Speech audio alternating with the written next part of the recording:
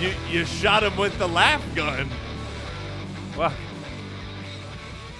welcome in. I um, I'm bleeding. You're, I'm bleeding. Welcome you're to. bleeding joy. You're welcome. I don't know how you surprise. I mean, how many of these have we done? I don't know how they surprise me. I really don't. Welcome, welcome in to the Fantasy Footballers show after the show. We're back again. Today, I wanted to bring up um, a story I tell a lot, actually. You know, people ask us, we're Arizona Cardinals fans. They used to be the Phoenix Cardinals. They used to play at um, in Tempe, Sun right? Devil at Stadium. Sun Devil Stadium, where for a long time in Arizona, the Sun Devils were really the sh- only show in town for the community up here in Phoenix. Uh, and so this stadium has been there a long time. It's built into this mountain off the campus in, in Tempe. Not an NFL stadium.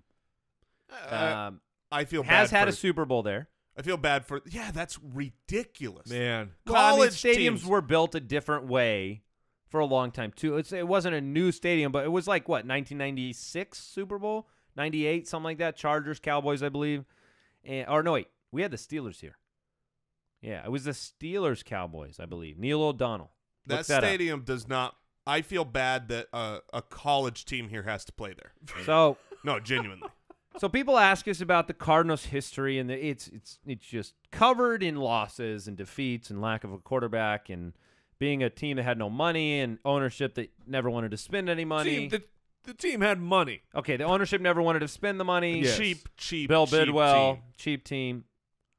It's changed, right? We've got a new stadium, University of Phoenix Stadium.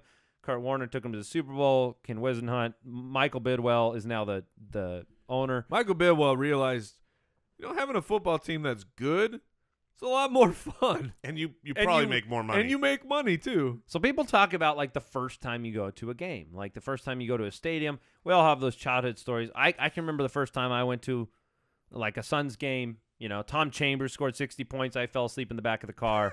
you know, I was young. And I remember the first time I went to Sun Devil Stadium. And I wanted to Really? bring The this first up. time? The first time. Because I never went I to remember- Cardinal games. uh, yep. I, I, remember went to the same Sun thing. Devil games. Mine was a Cardinal game. And uh, first time I ever went, you know, you're a little kid. You're intimidated by all the people. You're not very tall. There's giants everywhere. There's giants everywhere. Then you you, you drink some some You get soda the- pop. the so- As a kid, you get some treats, you get and the cotton candies. and you got to go to the bathroom. And that's where we bring this show after the show. Back to the bathroom, where we like to. We keep it. always bring it back to the. We always bring it back, back to to the the bathroom. bathroom. And I wanted to bring this up because I don't know if anybody out there has experienced this. Because I would actually feel like I might need a support group anyway. So if you out there have been through this, please let me know. Maybe there's stadiums around the world. Are th- there can't be other. There have to be others. No, yeah, No. they- this is this is not a single occurrence. So This is- I stumble into the bathroom as a young, small lad, and the bathrooms at old Sun Devil Stadium. I assume they've been renovated and do not. I don't Are know. not this way. I do not know. Apparently, in the in the '90s, in the '80s, the the 1780s. Well, there that- could be there was a trough bathroom. Okay, I'm gonna say say it. It- there was a trough urinal. Well, they, they looked. It's not back, even a urinal. They It's looked a at trough. Mid, they looked at medieval England. They said, "How did they do things? How do I back then?" simulate a hole that everybody circles around and pees into? and what I'm saying here is, this is a great example. Oh, we're, we're, is si- we're sitting there. We can just This table might as well be. right here. This is a this is a bathtub. Okay, imagine this is a bathtub, and now I'm on one side and he's on There's the other. two sides. We're being straight into a bathtub. We're staring each other in the eye, and you. The Super Bowl was there.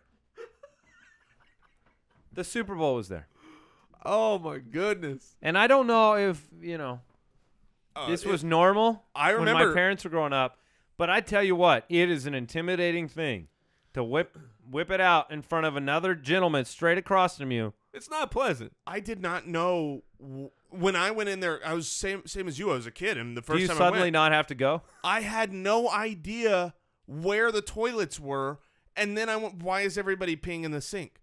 Like it looked more like a place where you would wash your hands than Oh. where you would go to the bathroom. And no, I did not. I did not pee. I I held it, and I did not go to the restroom because I was I I felt like I'm not I don't belong here. I'm not supposed to be here. I saw something I shouldn't see. That's how I felt as a Speaking kid. to your point, uh, I had a somewhat similar experience in the Metrodome. Wait, they Uh, had a trough? Uh, I I believe it was a trough, but it was also a and, and that's an older stadium. I mean, it's it's gone now. Uh, rest in peace, Metrodome. but the the bathrooms were were uh, old. They were not large enough, and you have a, a a large group of people. And I don't know if you understand this. Uh, to, speaking to the, to the ladies, just how horrifying men are.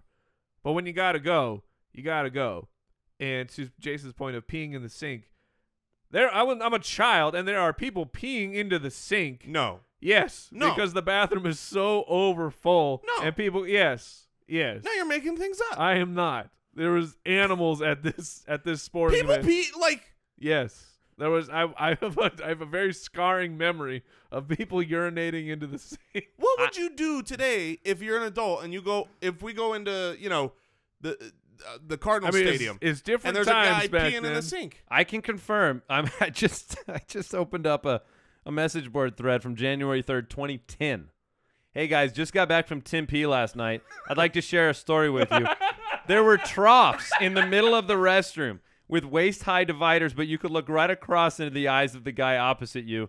So you have to look down to avoid weirdness. A couple of old guys across from me remarked that this is the first place I've been where I could look at the other guys while I go.